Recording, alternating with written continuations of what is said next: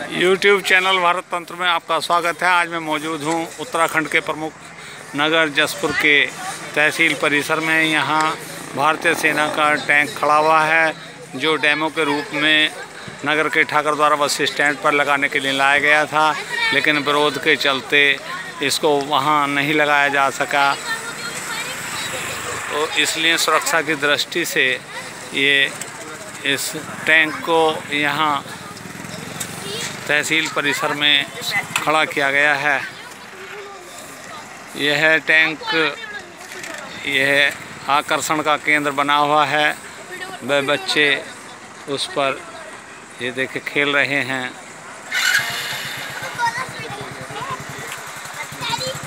ये बच्चे देखिए, इसे टैंक इन्होंने ऊपर से खोल रखा है और उसके अंदर ये खेल रहे हैं।